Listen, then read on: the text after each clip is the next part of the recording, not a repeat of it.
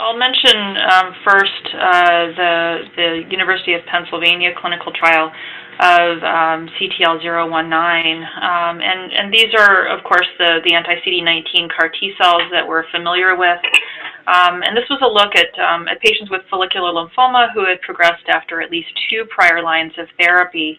Um, and uh, the median age was, was around 60. Um, and as you might expect, most patients had stage three or four disease um, uh, and, and often had been refractory to their most recent prior line of therapy. Um, the best overall response rate was, was 79% in that study. Um, and cytokine release syndrome occurred in about 57% of patients. Um, uh, only 15% uh, were more than grade 3, um, and very few um, uh, severe neurologic events. Um, only 11% were grade 3 or higher. Um, the progression-free survival, the median wasn't uh, reached, uh, but there was a 70% progression-free survival at a median uh, follow-up of, of 28 months.